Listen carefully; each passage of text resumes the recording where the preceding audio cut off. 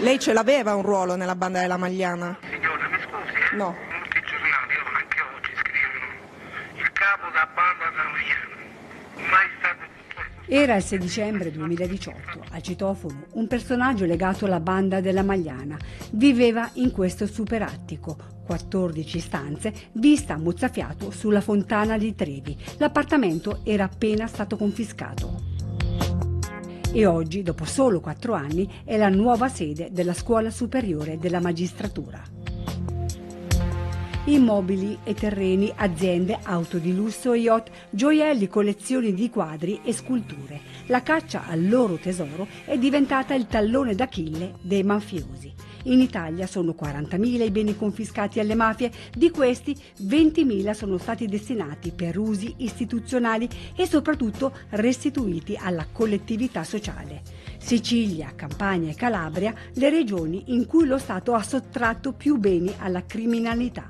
Segue la Lombardia, nessuna regione è esclusa. Le difficoltà quali sono? Fondamentalmente il fatto che noi ci ritroviamo davanti a dei beni che sono fortemente deteriorati dal trascorrere del tempo, ma anche dal comportamento dello stesso prevenuto, cioè il, soggetto al quale eh, è stato portato via il bene. Perché? Perché? Perché uno degli schiaffi che lui vuole dare allo Stato è proprio quello di distruggere il bene prima di consegnarlo. Va seguito il bene anche dopo, per vedere se effettivamente dopo l'assegnazione trova questa sua destinazione ristrutturazioni dispendiose che spesso i piccoli comuni non possono permettersi, tra iter giudiziario e fondi regionali ed europei. I tempi si dilatano e gli immobili diventano sempre più fatiscenti. La strada del riutilizzo dei beni confiscati è piena di ostacoli.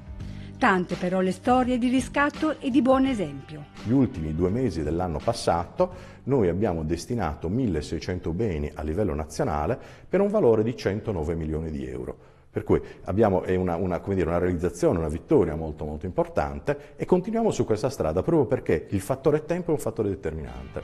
Colpire dritto al patrimonio ai piccioli, così si combattono le cosche, diceva Pio La Torre.